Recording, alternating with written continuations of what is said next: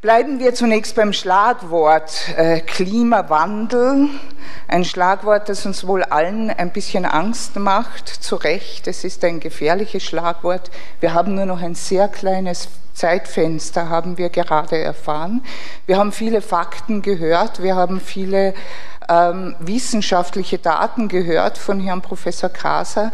Wir sollten aber, glaube ich, trotzdem jetzt nicht verharren und dieses Schlagwort Klimawandel wie so oft in Diskussionen als Fallstrick betrachten, so mit einem Achselzucken, da können wir eh nichts mehr tun, das ist eh alles schon viel zu spät, wir können da nicht mehr positiv wirken, wir können nichts mehr verändern, weil, Damen und Herren, so findet man keine neuen Wege. Und mein Ziel ist es heute, mit Ihnen gemeinsam und mit meinem hochdotierten Podium Wege zu finden, wie sich der Tourismus, speziell diese Branche, wandeln kann, um den Herausforderungen, die es jetzt schon gibt, also nicht der Zukunft, die es jetzt schon gibt, das ist uns allen nach diesem Referat und nach dieser Aufzählung der Fakten klar, um diese Herausforderung zu stemmen, um in eine Zukunft zu gehen, äh, wo Tourismus sich an den Klimawandel anpasst. Ich darf Sie informieren, weil ich nicht weiß, wie, weit Sie die Mitdiskutanten hier kennen, äh, dass es ja doch schon sehr schöne regionale Projekte gibt. 2002 etwa wurde der Skibetrieb am Dobratsch eingestellt, die Lifte wurden abgebaut. Warum? Die Bevölkerung hat sich damals gewehrt gegen eine Beschneiungsanlage. Der Dobratsch ist auch Trinkwassergebiet ja, Schutzgebiet. Und die Bevölkerung, die Anrainer wollten keine Beschneiungsanlage am Dobratsch, ist mittlere Höhe. Ganz oben ist schon immer Schnee, gell, Herr Heuberger. Und der Dobratsch ist dann zum Naturpark erklärt worden mit sehr spannenden Projekten und bewusst fange ich mit Ihnen an, Herr Heuberger, und bitte Sie, uns ein bisschen zu erzählen von diesem Bus-Shuttle, da gibt es die Villacher Alpenstraße, die da hinaufführt von diesem Bus-Shuttle und wie sich das bewährt hat, der wurde getestet 2020 in den Semesterferien und hat, so viel darf ich vorweg verraten, in einer Woche mehr Zuspruch gefunden als die öffentlichen Busse, die hinaufführen im ganzen Winter davor. Vielleicht können Sie erzählen, was daraus geworden ist und wie sich der Tourismus gewandelt hat, auch über diese Ängste kurz einmal sprechen, die es gegeben hat, dass der Dobratsch, eines der beliebtesten Skigebiete Kärntens seinerzeit, plötzlich keines mehr war. Ja, danke vielmals. Ich äh, werde es ganz kurz ausführen. Man muss ein bisschen zurückgehen. Der Dobratsch als äh, Trinkwassereinzugsgebiet für Nötsch, Bad Bleiberg und die Stadt Villach hat äh, einen sehr eigenen Tourismus gehabt. In den 70er Jahren war das ein großes Skigebiet für die damaligen Verhältnisse, aber es hat nie Hotels oben am Berg gegeben, weil es eben kein Wasser gegeben hat oben. Und dies war auch die Herausforderung dann, wie es einige schneearme bis schneefreie Winter in den Ende der 80er, Anfang der 90er Jahre gegeben hat und diese Idee der Beschneiungsanlagen gekommen ist äh, und hat dann letztendlich den Ausschlag dazu gegeben, dass man die Lifte abgebaut hat und den Naturpark erklärt hat. Das geht natürlich leichter, wenn es am Berg keine Betriebe gibt. Also ich hinterfrage das natürlich auch kritisch, wenn da oben einige Hotels gewesen wären, ob das dann auch so passiert wäre. Auf der anderen Seite hat man dann einen Naturpark gemacht, äh, hat kein Winterkonzept gehabt zunächst. Wir haben dann ein Winterkonzept, fünf Jahre zu spät, sage ich, nachgelegt. Äh, in diesen fünf Jahren sind die Hütten oben und die Betriebe, also die Tagesausflugsgebiete, Restaurants, Hütten, sehr verzweifelt. Das war klar, die waren gewöhnt, viele, viele Skifahrer, auch bei schlechtem Wetter und dann war plötzlich zum Teil nichts mehr los.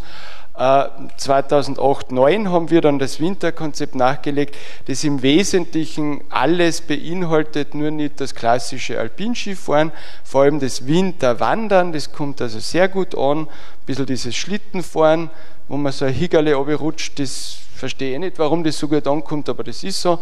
Äh, und das Skitouren gehen, das halt dann auch äh, boomt seit einigen Jahren und immer mehr boomt und da wird aber eben noch präpariert bis nur wenig, aber doch auf Naturschnee. und das bietet dann wiederum die Sicherheit, dass man hier auch als Anfänger eine Skitour gehen kann bei uns am Dobratsch. Äh, zunächst einmal sind die BKW-Zahlen stark zurückgegangen in den 90er Jahren, in den Nullerjahren, sowohl im Sommer als auch im Winter. Mit Beginn des Erfolgs dieses alternativen Winterkonzeptes sind dann die BKW-Zahlen im Sommer und im Winter wieder gestiegen. Äh, und wir haben dann 2010 schon uns bemüht, da eine Besucherregelung für die BKWs einzuführen. Das ist politisch nicht äh, sehr leicht gewesen und eben wie lange es dauert. 2020 ist dann die Situation, äh, oder 19 eigentlich noch vor Corona, immer brisanter worden. Eskaliert oh, eigentlich. Oh, ja, genau, kann man auch so sagen. Und dann war Gott sei Dank die Zeit günstig, dass man die Reißleine gezogen hat und mit sehr mutigen politischen Vertretern in der Stadt Villach, namentlich die Vizebürgermeisterin Hochstädter Lackner, die jetzt Alt-Vizebürgermeisterin ist, ja, ist es dann gelungen, diese Maßnahmen umzusetzen, im Prinzip eine Parkgebühr im Winter beinhalten und einen zwei Stunden Shuttlebus. Das haben wir in dem Corona-Winter äh, ausprobiert. Die meisten Presseanfragen waren immer, ja, in Gottes Willen, wer wird sich in Corona in einen Bus setzen? Äh, und ich habe immer gesagt, ja, in Wien sitzen sie auch jeden Tag in die Öffis. Und das wird wohl bei uns auch gehen. Es war erfolgreich. Es war letzten Winter dann so, dass wir über 5000 Busgäste gehabt haben und über 12.000 PKWs weniger. Aber natürlich, wir reden noch immer von einem hohen Niveau an PKWs am Dobratsch. Das heißt, das Problem ist jetzt gemildert, aber nicht gelöst. Mhm. Genauso wie man natürlich sagen kann, das alternative Winterkonzept zu einem Skigebiet hat eine reduzierten CO2-Belastung im Wert 1 zu 6. Das ist das Thema Wandern, Skitouren gehen. Zum Thema Skigebiet ist das Sechsfache der Wert höher in einem Skigebiet wie in einem Naturberg. Das wissen wir, aber der Hauptbestandteil der touristischen CO2-Emission ist die Anreise und die Nächtigung. Und damit haben wir ja jetzt nichts zu tun, aber das müssen wir auch noch in den Griff kriegen. Mhm. Ähm, ich würde es jetzt nicht so stehen lassen und sagen, verharmlosen wir mit einem ähm, kleinen regionalen Beispiel, was der Herr Professor Kaser gesagt hat. Also das soll es nicht sein. Ich wollte Ihnen nur so etwas ganz Konkretes für den Beginn dieser Diskussion geben. Ähm, vielleicht auch so, dass man mal Wege sieht, wie geht man jetzt damit um? Wie geht man denn damit um, dass es immer wärmer wird, das braucht man nicht diskutieren, das ist unbestritten, dass es stickiger wird, dem kommen wir nicht aus. Das steht außer Frage, dass die Gewitter heftiger werden, dass wir Hagelgewitter im Mai haben, dass wir Tropentage im Mai haben und all das verbirgt sich nämlich hinter Professor Kasers Zahlen. Ich habe mich am Wochenende sehr ausführlich mit Ihren Vorträgen beschäftigt und versuche das ein bisschen angreifbarer zu machen. Warum? Weil Klimawandel einfach so ein Schlagwort ist und ich meine das negativ. Wir wissen noch immer nicht, was es bedeutet. Es dringt nicht durch und ganz besonders dringt es nicht durch, so provokant muss jetzt leider sein, zu den Touristen. Ja? Das weiß niemand besser als Professor Schmude. Sie haben das untersucht. Sie haben auch die Auswirkungen der Corona-Pandemie auf den Tourismus in Bayern untersucht.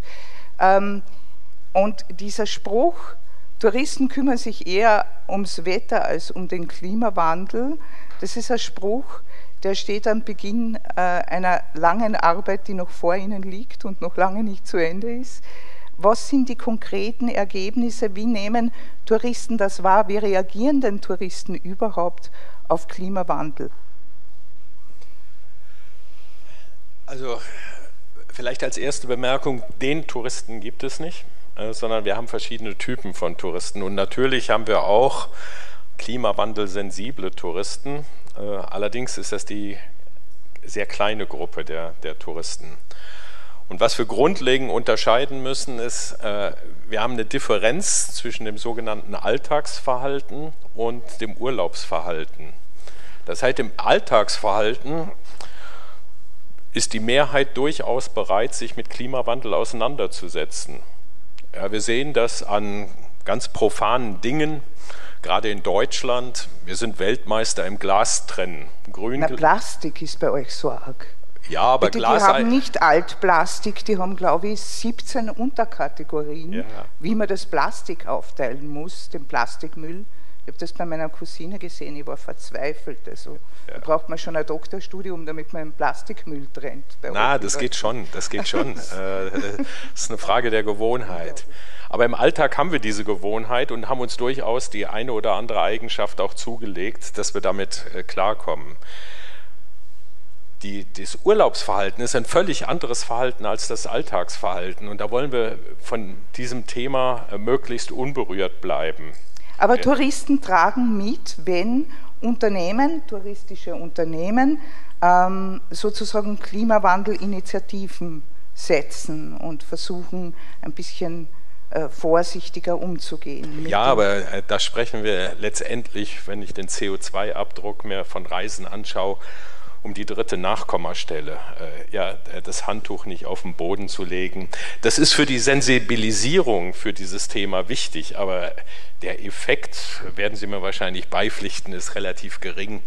Beim Reisen haben wir das große Problem, dass je nachdem, was für eine Form von Tourismus ich ausübe, 70 bis 80 Prozent auf die Mobilität äh, zurückzuführen sind. Das eigene sind. Auto? Ja, ja äh, und das ist die Stellschraube, wo wir über das Verhalten nachdenken. Ja, äh, und da sind die Touristen aber relativ wenig bereit dazu. Also wenn ich jetzt wieder von den Touristen spreche, natürlich gibt es welche, die äh, ganz bewusst ihr Verkehrsmittel wählen. Äh, aber das passiert bei uns, Entschuldigung, wenn ich das etwas provokativ sage, ziemlich hirnlos. Ja? Also durch die Demokratisierung des Reisens, die wir nach dem Zweiten Weltkrieg erlebt haben, haben wir eigentlich alle Optionen zum Reisen. Ja, äh, das sind die Billigflugtickets genauso dabei wie die Möglichkeit, den Shoppingtrip am Wochenende in Mailand, den Junggesellenabschied in Barcelona. Also, das ist für mich hirnloses Reisen. Ja. Aber diese Option haben wir gehabt. Das wird auch jetzt nach Corona wieder angeboten. Aber hat sich das Reiseverhalten nicht radikal verändert? Sind die Leute nicht weniger unterwegs? Also wenn ich für die deutsche Bevölkerung äh, spreche, wir hatten vor Corona 78 Prozent Partizipationsrate am Reisen. Also 78 Prozent der Bevölkerung haben eine sogenannte Haupturlaubsreise gemacht. Davon gingen zwei Drittel ins Ausland.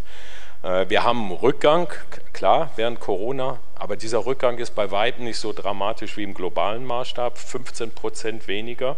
Äh, das heißt aber immer noch 63 Prozent der Bevölkerung sind gereist und von denen sind 52 Prozent ins Ausland gereist. Allerdings in ein anderes Ausland.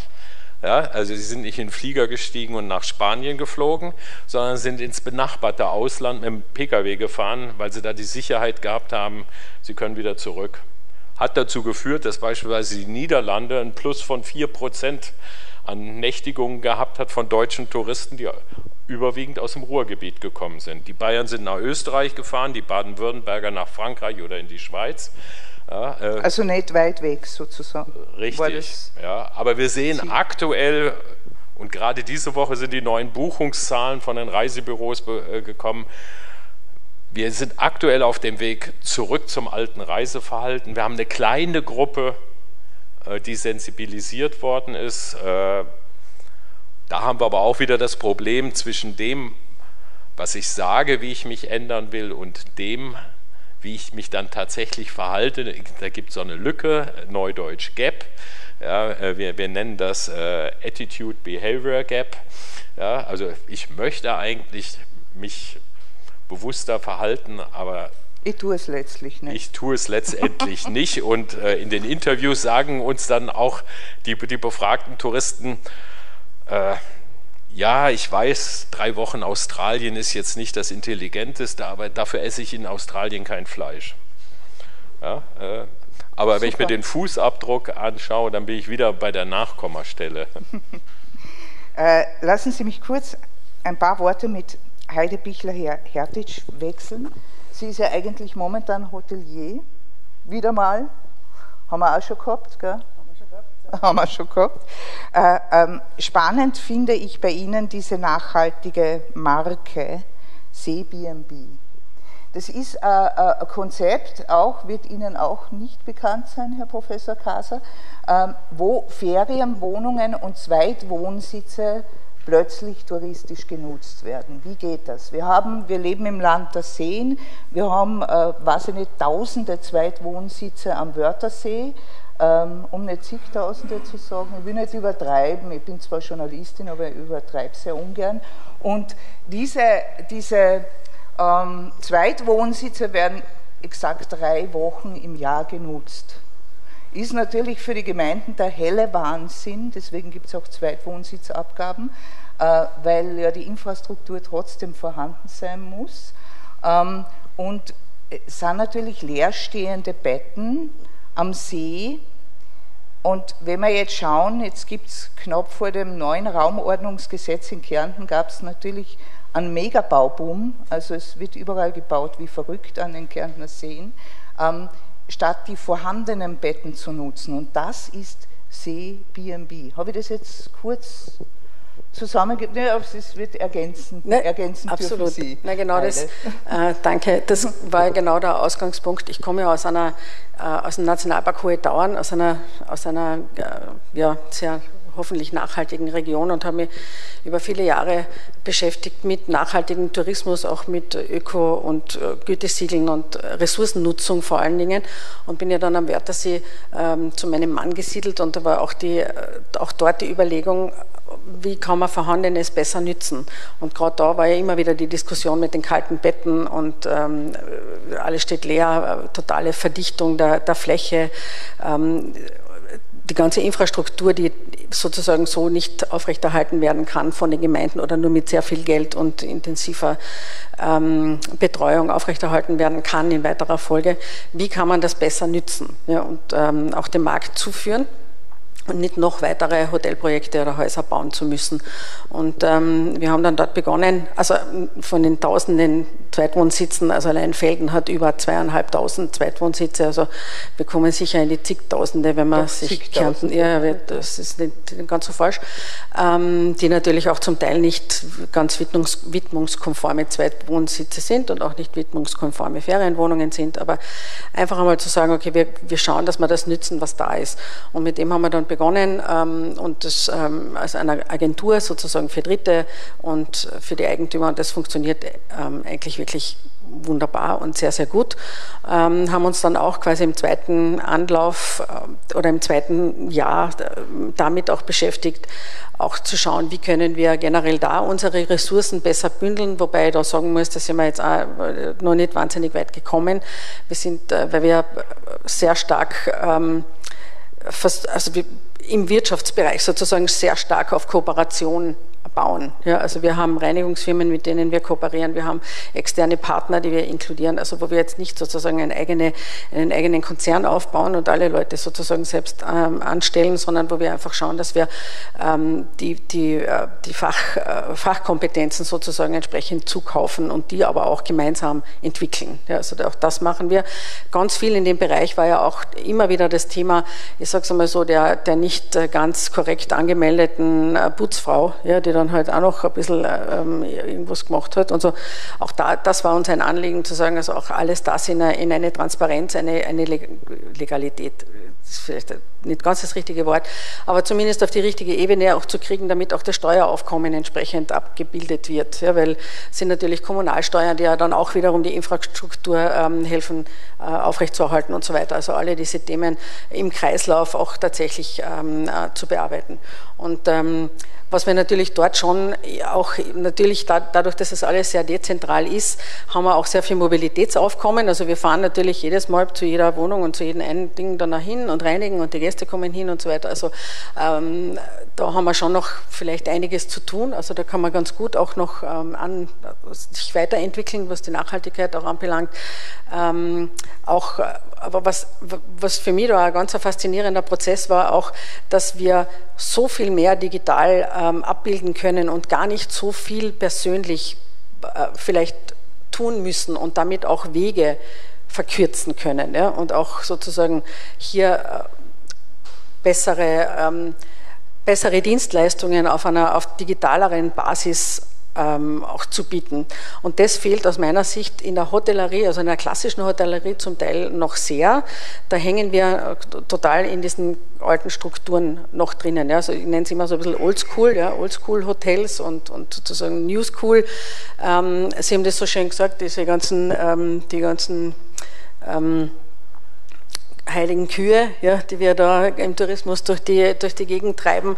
Äh, Gerade so Hotels müssen alles bieten, die Buffets müssen übergehen und es muss alles da sein von, was weiß ich, und jetzt kommt ja noch dazu, es musste die, die vegane, das Frühstücksbuffet, das, das glutenfreie, das, die Mandelmilch, äh, die regionalen Produkte, also das, das, das ist ja eine ein unfassbare Menge, die wir bieten müssen. Das ist genau das, was Sie auch wieder sagen, dass man da ja im Tourismus, also im Urlaub plötzlich alle zu Hedonisten werden ja, und das einfach einfach alles haben wollen. Ne? Und jetzt gönnen wir uns endlich einmal was. Und jetzt fahren wir trotzdem. Und Corona hat uns sowieso eingesperrt und jetzt müssen wir erst recht nach Australien und, und so weiter. Und das kleine Krokodilfleischchen zählt ja nicht, ne? das ich dann dort vielleicht doch esse und so.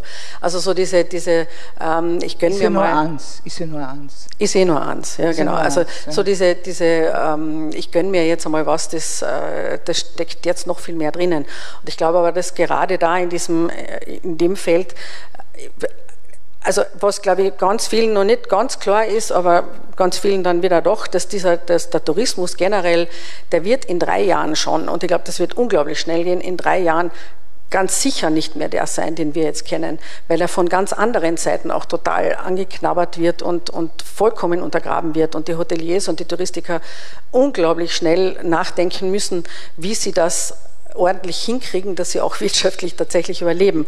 Es gibt ja nach dieser Diskussion das Thema Mitarbeiter, also da, das ist ja ähm, die, etwas näher als der Klimawandel, ja, weil das ist ja heute schon das Problem, dass wir keine haben. Und beim Klima kann ich sagen, okay, die Woche gehen noch schnell die Freilandeier und nicht die Bier vom Nachbarn und halt wie immer. Also das ist ja immer dieses Thema bei dem Klima, das es ja rausschieben kann. Ähm, aber wir müssen da, glaube ich, ganz, ganz schnell neue Modelle finden und äh, neue Denkweisen auch, ähm, auch für uns entwickeln, die dann eben auch dem, natürlich dem, dem Klima generell sowieso dienen müssen. Am Podium darf man durchaus auch miteinander reden, gell, wenn Sie Ideen haben und, und, und Einwände haben, sehr gerne. Ich möchte jetzt den Herrn Professor Kraser vor die schwierige Aufgabe stellen, dass ich Sie auf ein sehr enges Thema jetzt einschränke, nämlich Klimawandel und Tourismus. Ähm, Sie sind einer, der sehr groß denkt und sehr globale Geschichten entwickelt. Ähm, wie schaut denn der Tourismus der Zukunft aus? Was glauben Sie, was würden Sie einem jungen Touristiker heute empfehlen, was er ganz dringend machen muss, wenn er in einer Mittellage im Backland Kirchheim etwa einen Betrieb hat, wo wir äh, in den letzten zehn Jahren, weiß ich nicht, vielleicht zweimal zu Weihnachten Naturschnee gehabt haben, sonst nur vom Kunstschnee leben und das auch sehr mangelhaft, weil es meistens zu warm ist für die Beschneiung. Also was würden Sie dem raten, wenn er jetzt einen elterlichen Betrieb übernimmt? Ja, Ihr Versuch in Ehren, mich einzuengen. Äh, ich werde teilweise darauf eingehen. Äh, ich komme ja selber aus Südtirol, lebe dort und da fliegt uns der Tourismus den Nicht-Touristikern um die Ohren schon länger, Jahrzehnte alt, die Geschichte, dass es zu viel ist. Äh, wir haben sehr viel Ansätze und gute Ideen gehört und auch eine Problemanalyse, das würde ich einfach so äh, wiederholen.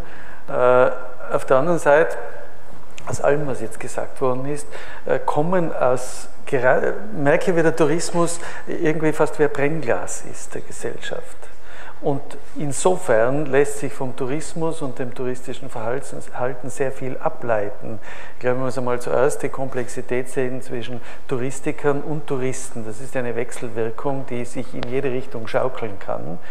Aber äh, wir haben wenigstens, was, was Mitteleuropa betrifft, hier auch die, die heiligen Kühe die im Tourismus zum Teil sogar besser hervorkommen. Wir haben gehört über die Versorgung, die regionale. Achtung, regionale Versorgung ist schön, ist aber auch romantisch.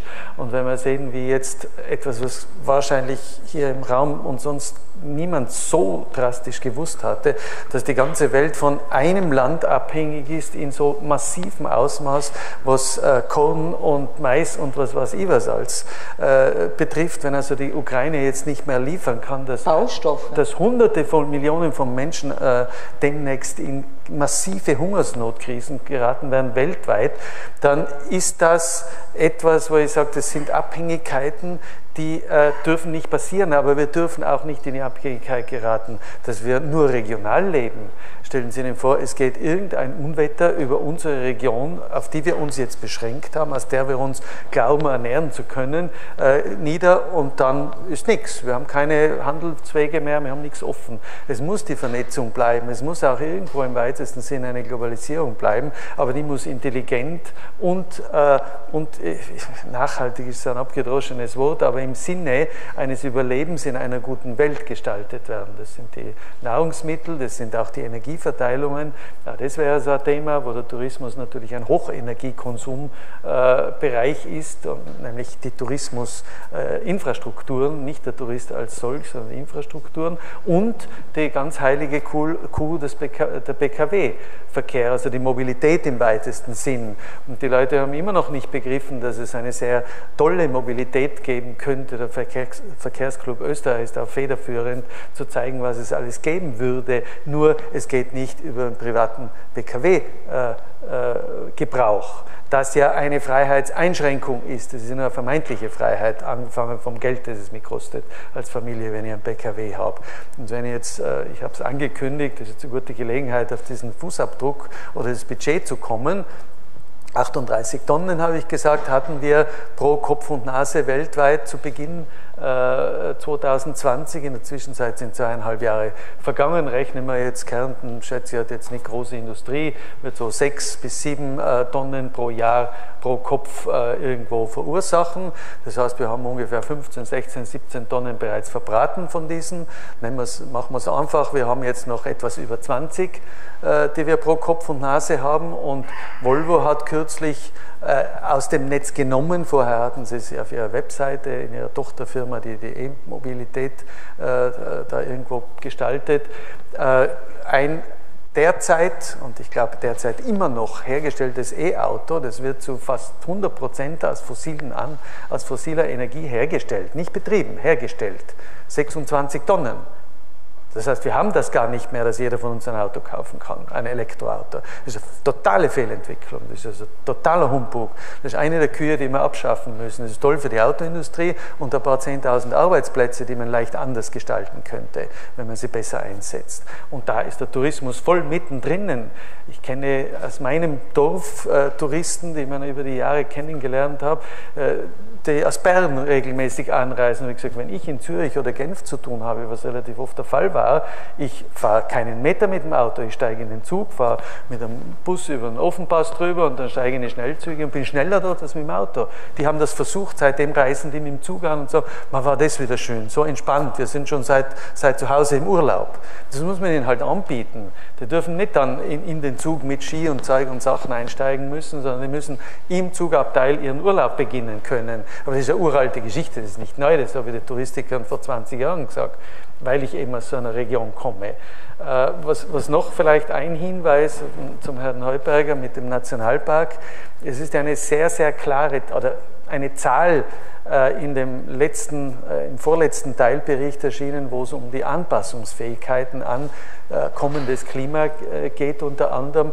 Und da ist ganz klar drinnen, wir müssen 30 bis 50 Prozent der Erdoberfläche inklusive Ozeane renaturieren. Wir müssen sie zurückverwildern sozusagen, um uns zu schützen vor dem, was an Klima kommt. Nicht um das Klima zu schützen, um uns zu schützen. Denken Sie an Mikroklima. Wir müssen Auwälder wieder schaffen in der Umgebung unserer Städte. Wir müssen wirklich wieder massiv äh, landwirtschaftlich übergenutztes Gelände rückgewinnen. Äh, wir müssen den Feuchtehaushalt lokal wieder im Schwung bringen und die Hitzeinseln durchbrechen und, und, und.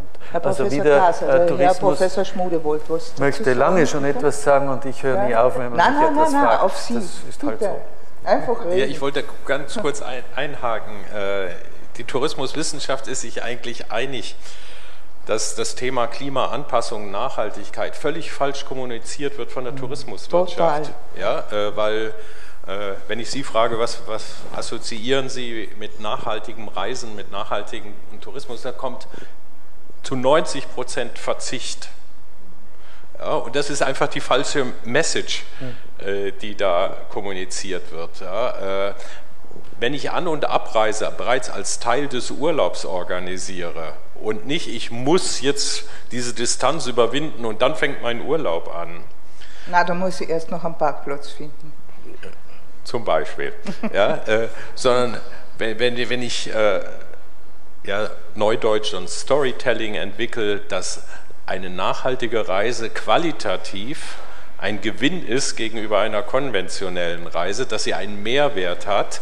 Und wenn Nachhaltigkeit zu, äh, zu einem Qualitätsmerkmal wird und nicht immer nur mit Verzicht, mit Reduktion, mit etwas Negativem konnotiert wird, äh, dann sind wir einen Schritt weiter. Aber äh, sorry, wenn ich jetzt die Touristiker so ein bisschen angreife, das haben viele noch ausgenommen, die hier auf dem Podium sitzen. Das haben viele einfach noch nicht begriffen. Ja? Und was wir auch feststellen, die Nachfrage, also die potenziellen oder tatsächlichen Reisenden, ja, ja. die fragen von sich aus wenig nach nachhaltigen Reiseprodukten, sondern die Angebotsseite ist hier gefordert, mit der positiven Kommunikation diese Angebote äh, auf dem Markt zu platzieren. Mhm. Wir haben eine Frage aus dem Publikum. Darf ich die kurz mit einbinden? Liebe Madame. Hallo, guten Tag. Äh, Claudia Brütze, mein Name. Ich bin ja nachher auch noch auf dem Podium, aber ich wollte ganz kurz Sie so ein bisschen mit einem Impuls äh, äh, ähm, genau in die Richtung, was der Kollege sagt, äh, Jürgen Schmude. Ich finde, wir wissen alle, dass das Problem so und so und so ist. Es ist viel besser, jetzt über Lösungsansätze zu reden. Ich finde Ihren Ansatz total spannend, ja, zu sagen, wir haben ganz viel Leerstand, was machen wir mit dem, wie können wir den einbinden. Das klingt so easy. Sie haben vorhin zwei Sekunden Zeit dafür bekommen. Das war sicherlich ein wahnsinniger Aufwand, organisatorisch alle unter einen Hut zu kriegen. Ja. Das sind, finde ich, Leuchtturmprojekte und ich möchte Ihnen gerne ein Beispiel vom Kratzberg bringen, hier aus Österreich. Ich habe eine Studierende, die dort ein Jahr gearbeitet hat und den Klimaberg mit initiiert hat. Ja. Äh, also im Wesentlichen geht es darum, dass man Klimaessen auf den Tisch bringt, sozusagen über die Küche, über den Geschmack, ja, das Thema Klima nochmal ganz anders angeht. Ähm, ich kann da gerne, oder Sie kennen wahrscheinlich alle den Kratzberg, äh, einen Kontakt nochmal herstellen. Ich will das jetzt nicht im Einzelnen erläutern. Ich fand die Idee über den Geschmack, über etwas, was ganz positiv ist, ja, ähm, zum Beispiel vom Fleischkonsum wegzukommen, kommen. Zum Beispiel das, was dort angebaut wird, in der eigenen Küche zu verarbeiten, auf einem Niveau einer Sterneküche. Ein ganz positives Erlebnis, ja, womit man im Tourismus auch tatsächlich Storytelling machen kann. Ich finde, da muss man hinkommen, dass man nicht sagt, äh, wie beim Papier, ja, es ist grau, was wir früher mal gesagt haben, es schreibt schlecht, äh, es ist blöd, ja, keiner will das machen. Also ähm, Umweltschutzpapier aber nee, im Tourismus muss es anders laufen. Äh, und ich meine, in unser ganzer Leben, ja, wenn wir uns anfangen, vegan zu ernähren, hat es einen Wahnsinns-Impact. Aber es muss auch schmecken, es muss Spaß machen, es muss nicht nach Gummi oder was weiß ich, Pappe schmecken. Ähm, und dann wird ein Schuh draus. Weil ich meine, äh, Urlaub ist, wie wir wissen, etwas, was wir sehr gerne alle tun. Das muss was mit Genuss zu tun haben. Ja? Dankeschön. Ich, ich glaube, äh, nur um das zu ergänzen, ich glaube, dass dieses äh, Projekt Klimaberg tatsächlich Katschberg genau diesen, diesen Schritt geschafft hat, das in diese positive Kommunikation reinzukriegen. Ja? Auch zu sagen, also, dass wir nicht in diesem Fingerzeig und du darfst nicht, sondern erleb das mal anders. Ja. Ich, ich glaube schon, dass da viel im Kippen ist oder auch im, in Entwicklung ist, dass äh, Gäste das durchaus auch schätzen oder unsere Touristiker auch irgendwo fordern oder haben möchten. Es passiert natürlich, man muss auch sagen, es passiert in den Hotels und in den Betrieben schon auch sehr viel im Hintergrund, ja, was man, glaube ich, auch nicht unter den Tisch kehren darf. Ja. Es hat ganz, ganz viel, die letzten Jahre haben sich sehr viel beschäftigt mit Energieeffizienz in den Häusern und so weiter. Also da ist schon, ähm, da ist schon viel gekommen, aber die, das Thema, das wir jetzt haben, auch als Gastgeber, ist das, dass wir zum Teil auch unsere Gäste einfach erziehen müssen und ihnen in irgendeiner positiven Art und Weise erklären zu können dass, oder zu müssen, dass es das halt so und so nicht mehr gibt. Ja, also die Frage ist, wie kriege ich ein Nein wie kriege ich ein Nein positiv rüber? Viel, ein, einen guten Teil hat uns äh, Corona auch geholfen, weil viele haben zum Beispiel auch die Frühstücksbuffets ja dann umgestellt in, in also nicht mehr diese überbordenden Buffets, sondern in ähm, Tellerservice und so weiter, was allerdings wieder auf der Mitarbeiterseite ähm, zuschlägt, ja, die wir jetzt dann mhm. auch nicht mehr haben. Also auch da werden wir dann die nächste Lösung finden müssen, ähm, wie wir das hinkriegen. Aber ähm, da hat sich, da tut sich schon viel. Ja. Die Frage ist immer, bin ich als Gastgeber ähm, wie, wie, kriege ich das hin, dass ich meinen, meinen Gästen das positiv äh, zu äh, verklickere und auch zu verkaufe?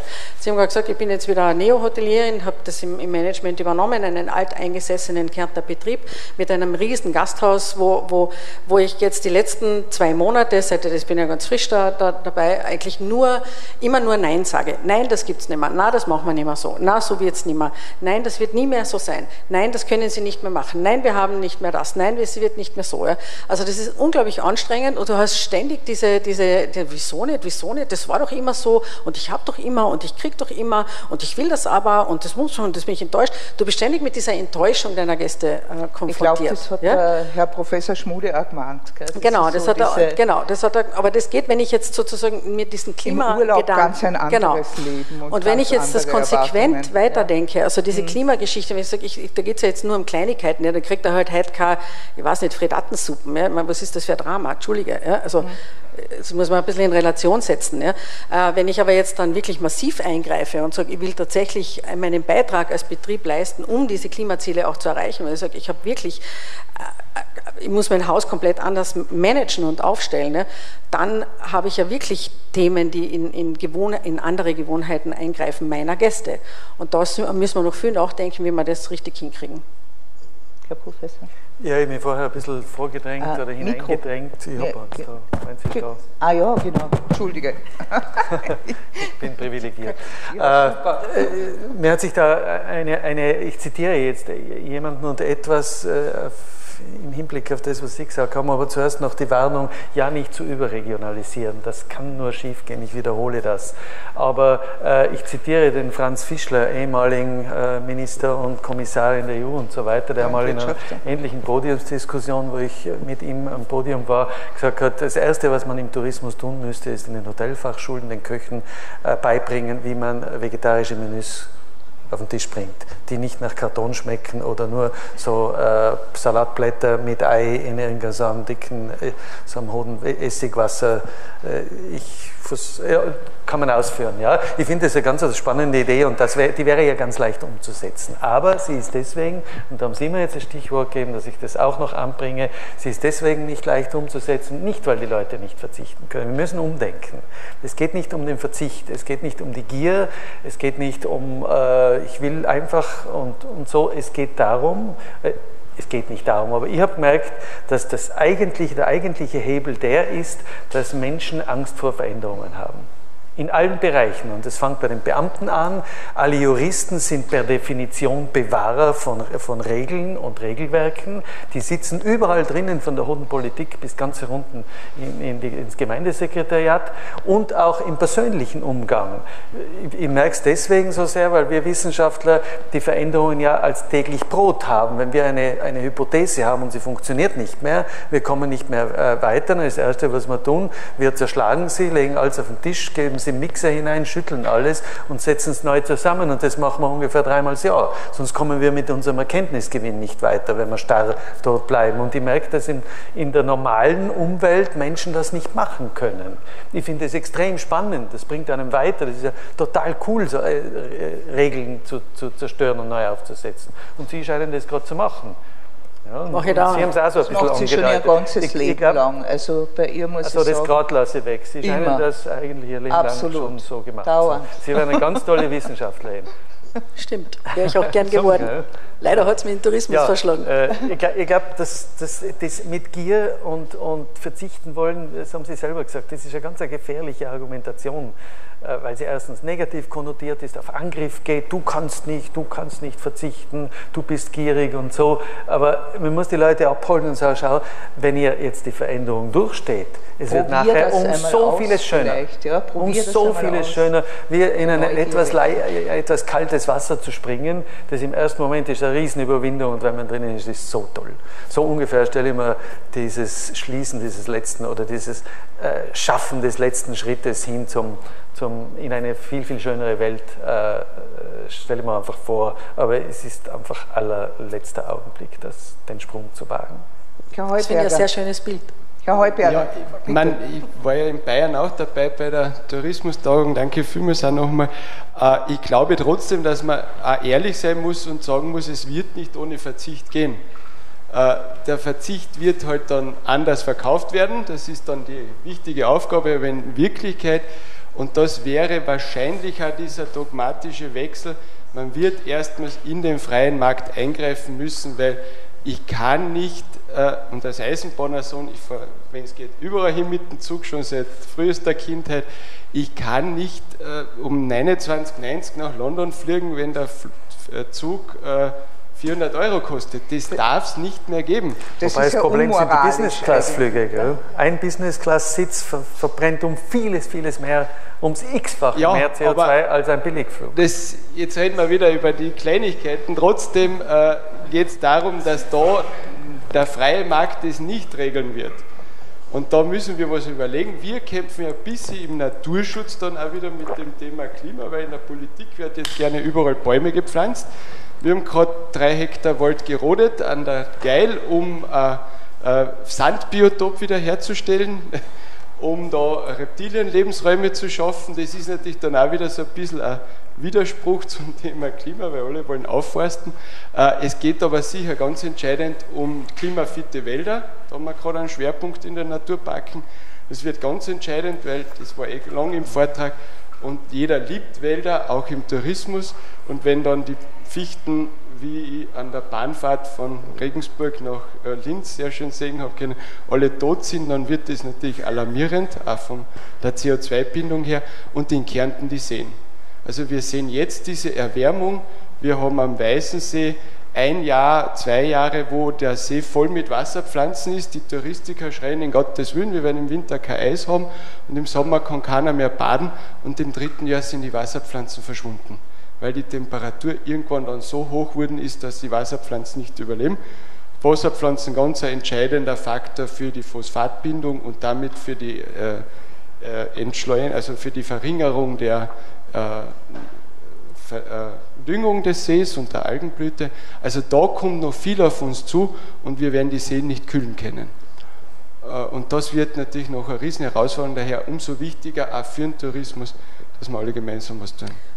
Darf ich noch kurz was ergänzen? Ich glaube, äh, was man wahrscheinlich schon noch machen kann, weil gerade in dieser in der Baukultur tut sich ja im Tourismus ja Gott sei Dank auch relativ viel.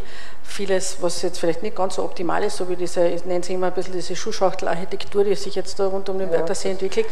Ähm, aber gerade in Südtirol, wo Sie ja herkommen oder im, im Bregenzer Wald oder wie immer, gibt es ja total schöne Beispiele von, von sehr gelungener Architektur, auch für neue, auch nachhaltige Architektur für neue Hotelprojekte. Und ich glaube, dass man da über Design äh, und über Schönheit, äh, habe ich auch vor kurzem in einem, in einem äh, Gespräch auch gehört, äh, schon auch sehr viel auch machen kann. Ne? Dass ich so, dass das, wie diesen Verzicht vielleicht abfedern kann. Es gibt vielleicht nicht mehr so viel am Teller, aber dafür befinde ich mich in einer schönen Umgebung. Ne? Ich gestalte ja meinen Lebensraum. Da gibt es ja dieses Projekt, das gerade die, die, ähm, am Wörthersee über die Region auch entwickelt wird, so diese, die, dieses Lebensraummanagement, dass es nicht mehr darum geht, da sind die Touristen, da sind die äh, da sind die Bürger, da, sind die, äh, da ist die Industrie, sondern dass man sagt, wie schaffen wir gemeinsam unseren Lebensraum für die nächsten 50, 100 Jahre? Wie kann man das gemeinschaftlich äh, bewerkstelligen? Und da auch wirklich sich ein klares Bekenntnis auch vielleicht zu entwickeln, ähm, nach, also nicht nur sozusagen nach den Regeln, nicht nur nachhaltig sich zu verhalten, sondern auch etwas für in Richtung Design, Kunst, Schönheit auch wiederum kommt aus, sozusagen aus der Wissenschaft heraus, aus, den, aus, aus unserer Kultur, aus Kulturentwicklung heraus auch etwas zu gestalten. Dass ich sage, das macht Sinn. Ja, da habe ich halt, ist jetzt von mir aus kein Fleisch mehr, es vegan oder wie auch immer, aber ich befinde mich einfach in einer, in einer Umgebung, die meiner Seele einfach gut tut. Vielleicht ja, aus meiner es Sicht, gibt eine. Vielleicht aus meiner Sicht noch äh, ein Aspekt dazu alles richtig, was hier gesagt wird. Wir haben viele gute regionale Initiativen, wir haben viele gute Beispiele. Äh, wir müssen aber auch daran denken, Tourismus ist ein Massenphänomen. Äh, durch diese Demokratisierung des Reisens haben wir große Bevölkerungsteile, die reisen. Und wenn ich jetzt wieder ein Beispiel aus Deutschland nehme, über 40 Prozent sind pauschal unterwegs. Das heißt, Reiseveranstalter, die große Mengen von Touristen von A nach B bringen und dort die schönsten Wochen, oft sind es ja nur noch die schönsten Tage des Jahres, äh, äh, zu verbringen. Äh, das ist eigentlich das große Problem. Wir haben ein Massenproblem. Ja, äh, wenn Eurowings pro Woche 440, äh, pro Monat 440 Flüge im Sommer von Deutschland nach Mallorca hat, dann haben wir dort eigentlich das Problem, über das wir diskutieren müssen.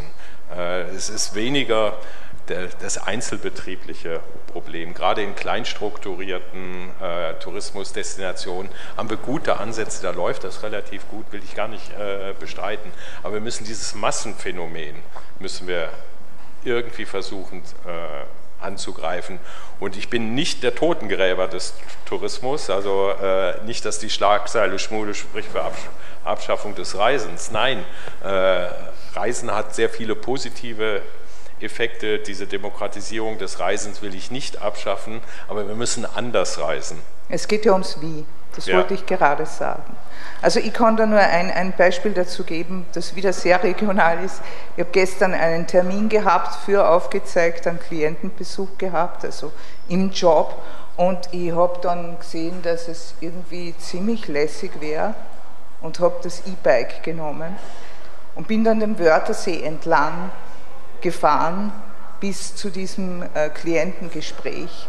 Und das eigentliche Erlebnis, ich meine, das Klientengespräch war sehr spannend, das ist es immer, war dieser Weg, den ich zurückgelegt habe, weil ich eben nicht auf diesen, ähm, wie soll ich sagen, Alltagsrhythmus reingefallen bin, mich ins Auto zu setzen und dorthin zu fahren, sondern ich habe einfach das Radl genommen. Gut, das ist ein E-Bike, ja. Bin faul. Gut, aber solche Dinge, glaube ich, so können wir alle etwas tun. Aber wollte unbedingt uns schon was Ja, sagen. es gibt ein paar Fragen aus dem Internet, äh, insbesondere zum Thema Mobilität. Der Herr Professor Schmude und der Herr Professor Kasa haben eh schon eigentlich einige Antworten gegeben, aber ich wiederhole sie noch einmal. Ähm, Mobilität ist sicher ein. Äh, ein crucial point in dieser ganzen Diskussion äh, Klimawandel. Hier wird die Frage gestellt, äh, wie kann im Rahmen des demokratisierten Reisens das, äh, äh, äh das ähm, Reisemittel Flugzeug reduziert werden? Wie soll das funktionieren? Äh, etwa beispielsweise wird hier ähm, angeboten, maximale Kilometer pro Jahr pro Person oder ähnliches, nachhaltigere Treibstoffe. Ähm, wir wissen alle, die Ursachen die den Klimawandel verursachen, aber äh, wir haben eigentlich keine Rezepte. Äh, was schlagen denn die Wissenschaftler hier vor? Was kann in puncto Mobilität wirklich oder was sollte geändert werden, zumindest hier bei uns in Europa? Ohne, ohne Freiheit, Freiheiten einzuschränken, das muss man ja auch dazu sagen, weil das wird nicht gehen. Ja, das ist genau diese Frage des Andersreisen, äh, ohne dass es mit Verzicht gleichgesetzt wird. Das heißt, nicht jedes Jahr die Flugreise. Äh, und ich will gar nicht immer nur gegen die Flüge äh, argumentieren, auch nicht jedes Wochenende äh, für ein Wochenende zum Skifahren in die Alpen, sondern die Aufenthaltsdauer verlängern, ja, eine Woche zum Skifahren zu gehen, alle fünf Jahre zu fliegen und in den Jahren dazwischen anders zu reisen und dort Erlebnisse, das hat uns Corona jetzt äh, gezeigt, dort Erlebnisse zu konsumieren, die so einen Aha-Effekt ausgelöst haben. Wie viele Deutsche sind in Deutschland gereist in Ecken, die sie vorher nicht gekannt haben, die sogenannten 1b-Lagen. Ich will die jetzt nicht namentlich benennen, sonst gibt es wieder einen Aufschrei, ich bin doch nicht 1b, sondern 1a.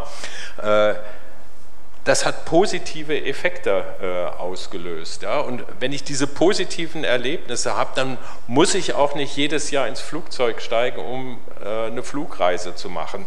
Und was ich erlebe, ist, dass diese Fridays for Future Generation in den Schulen, das wird die Generation sein, die anders reisen wird. Wir sind leider, in Klammern leider, und da schließe ich mich ein, da schließe ich meine Kinder ein, so sozialisiert worden, dass es einfach ein verfügbares Gut ist. Ich kann eben für 29 Euro nach London fliegen. Ja, also Aber geht das dann, dann, noch, wenn äh, Kerosinbesteuerung kommt? Nein, wenn die kommt, dann natürlich nicht. Aber das muss politisch gewollt sein und politisch durchgesetzt werden. Warum geht es euch so langsam? Bitte? Also man diskutiert wird es ja längst auf EU-Ebene zum Beispiel. Wieso zahlt sich das alles so unheimlich, Herr Professor? Wenn, wenn ich das wüsste, wenn ich da eine Lösung anbieten könnte, dann säße ich wahrscheinlich nicht hier. Ähm, es hat natürlich mit Interessen zu tun, mit Lobby zu tun. Äh. Aber die Kerosinbepreisung wäre sozusagen ja der Kampf gegen die Billigflieger. Ja, aber das ist dann auch wieder nicht das bewusste Entscheiden für was anderes, dann werde ich gezwungen zu äh, der bessere Weg wäre, wenn wir alle unser Reiseverhalten hinterfragen und von uns aus unser Reiseverhalten ändern, ohne auf irgendetwas zu verzichten, subjektiv, ohne dass die Qualität des Erlebnisses reduziert wird. Und da bin ich wieder bei der Tourismuswirtschaft, das muss ich aktiv vermarkten. Das muss ich aktiv kommunizieren. Eine freiwillige Veränderung. Das, glaube ich, kann man vergessen. Entschuldige, wenn ihr das so sagt, das muss, da muss Zwang, also bestimmte Dinge müssen mit Zwang ja, gerecht, müssen einfach abgeschafft werden. genau, und dann können wir auch positive Alternativen anbieten. Ja? ja. Aber solange alles verfügbar ist, ist das, glaube ich, einfach also wäre natürlich schön, aber ich glaube, mit dem kämpft die Menschheit schon seit, sie, seit es sie gibt, ja? also seit Adam und Eva mit ich entscheide mich bewusst nicht für den Apfel. Also das wird nicht passieren. Also da muss es sicher strenge Regeln in irgendeiner Form geben, damit wir dorthin kommen. Und die Dramatik, äh, glaube ich, ist uns, haben Sie uns heute wunderbar uns vorgeführt bewusst. und ist uns, uns zwei Wissenschaftlern bewusst.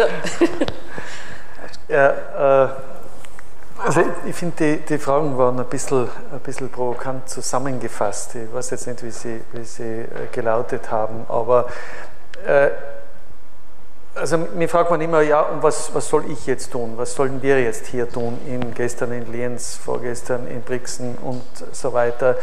Äh, und meine Antwort ist immer als allererstes schauen, äh, wie ihr lebt, was euer Verhalten ist, wo eure Schwachpunkte sind, wo die großen Energie Verluste sind, weil es läuft am Ende über den Energiekonsum. Und dann müsst ihr halt entscheiden, wo ihr kürzt und wo ihr etwas ändert. Und die Mobilität ist jetzt einmal hier in diesem Raum und im Zusammenhang mit Tourismus sicher ein großes Thema. Zusammen mit, äh, mit der Ernährung würde ich jetzt einmal sagen. Ja. Andere Dinge, die Stahlindustrie äh, ist jetzt nur marginal betroffen, außer ich baue halt jetzt gerade ein Grand Hotel. Oder ich will wieder Autobahnen bauen und so weiter. Aber was in jener Zahl, die ich genannt habe, 6 Gigatonnen pro, oder 6 Tonnen pro Jahr pro Person nicht drinnen steckt, ist der Konsum. Weil den lassen wir ja den Chinesen, die das produzieren. Ja?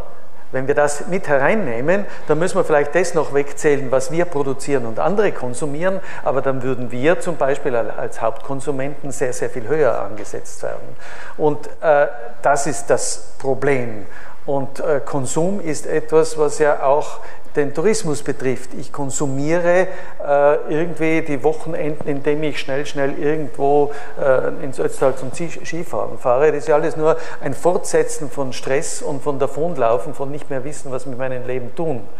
Äh, ich glaube, Touristiker müssen wieder das zurückfahren und sagen, das hat ja etwas mit Erholung zu tun. Und wenn ihr euch nicht erholen wollt und nicht bereit seid, euch zu erholen, dann bleibt bitte in München, in Mailand, in Frankfurt, wo ihr seid. Äh, kommt her, ohne 14 Tage hier zu bleiben, gebe ich gar, gar kein Zimmer mehr. Und das ist jetzt aber eine Diskussion, wo wir sagen, wir basteln am bestehenden System herum. Das, das ist jetzt meine Aufgabe, das wieder wegzuholen, weil äh, Sie haben das ganz gut angedeutet, es gibt andere Größen und andere Kräfte, die uns ja schon, den Touristikern schon äh, irgendwo unterm Nagel brennen, das ist jetzt das Personal. Ja, und da gibt es gute Gründe dafür, das ist eine Komplexität von Gründen, aber die brechen weg. Äh, auf das muss man sich einstellen und da werden viele Betriebe zusperren müssen und vor allem die personalintensiven. Das passiert ja schon. Und das, sind, das passiert ja schon. Passiert ja. ja und schon. nicht wegen Covid und nicht wegen Klimawandel, sondern weil einfach diese Personalsituation, diese Arbeitskräftesituation ist. Das nächste ist, wenn, wenn wir das nicht sehr, sehr schnell hinkriegen, das mit der, äh, mit der Klimawandelgeschichte oder dem Beenden dieser, dieser massiven Klimakrise, dann werden uns die, äh, die Touristen wegbrechen. Wenn Deutschland irgendwo sich nicht unterstellt und weiterhin in einem halbwegs Wohlstand oder in einem reduzierten Wohlstand weiterleben kann, wer soll denn dann noch kommen? Das wird es in 20 Jahren nicht mehr geben, da bricht alles zusammen.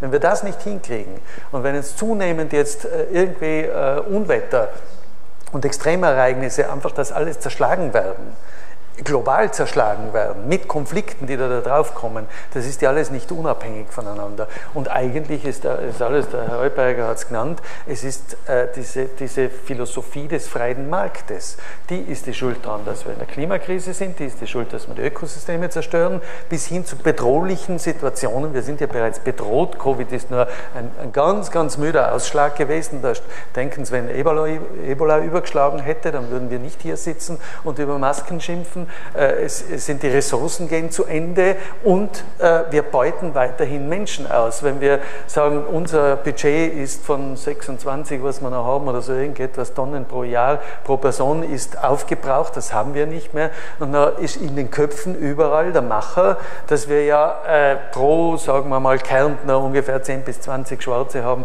die das ja eh nicht brauchen in Afrika. Und dann haben wir noch ein paar Inder, die es auch nicht brauchen und ein paar, weiß nicht was, die vorher ausfällig anfangen werden. Ich möchte das äh, jetzt äh, äh, bewusst nicht politisch korrekt kommunizieren, weil es zeigt, wie sehr diese imperialistische Lebensweise, das ist dann der nächste Schritt von Imperialismus. Das ist ja wieder unser System, wir erhalten es aufrecht und die sollen schauen, wo sie hinkommen, weil die brauchen das ja eh nicht.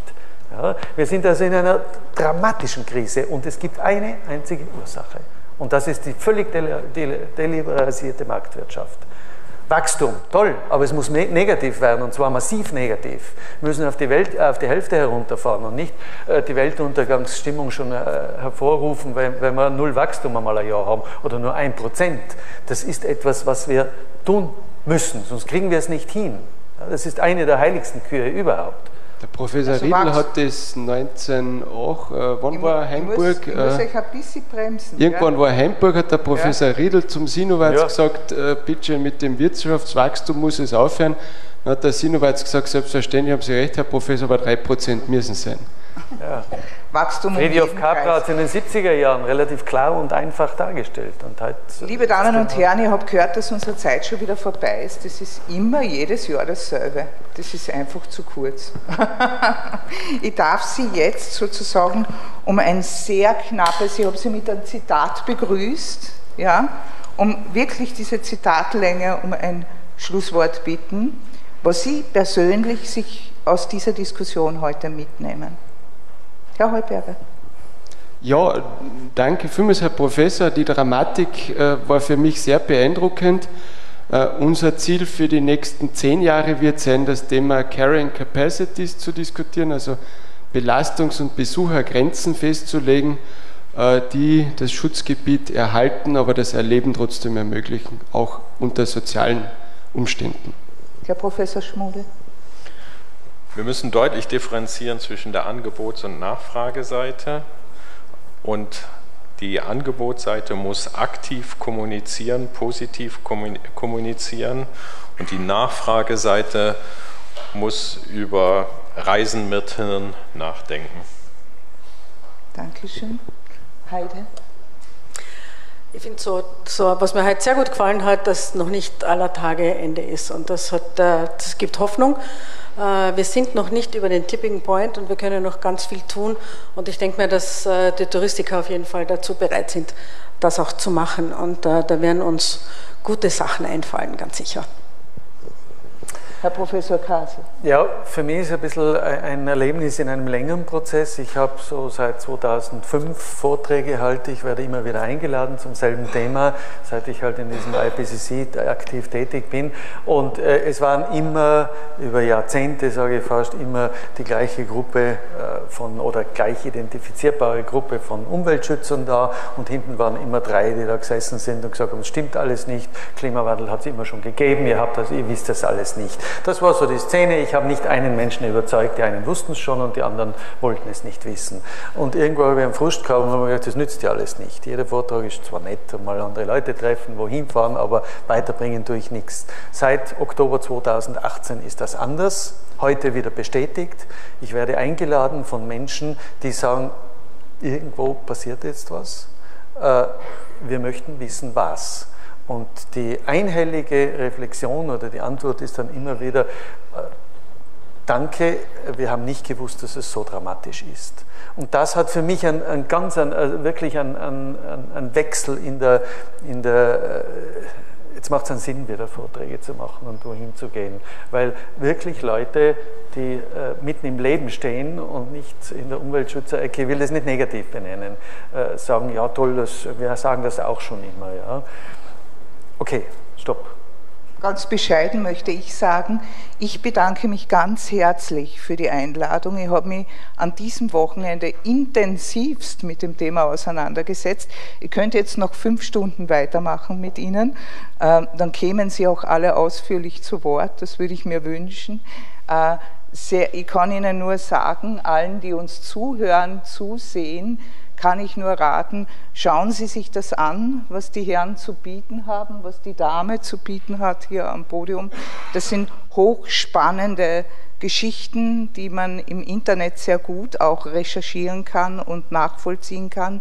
Ich bin in erster Linie, und das möchte ich hier sagen, und ich neige nicht zu persönlichen Statements, ich bin sehr dankbar. Sehr dankbar, dass Sie mich da so abgeholt haben mit ihrer Arbeit über Monate, dass sie mich so umfassend informiert haben, was das bedeutet, was das in Zukunft bedeuten kann. Es ist Zeit, wir müssen es angehen, wir müssen jeder, jede unseren Weg finden, um alles dagegen zu tun, was sich unternehmen lässt. Ich danke Ihnen für die Aufmerksamkeit. Danke.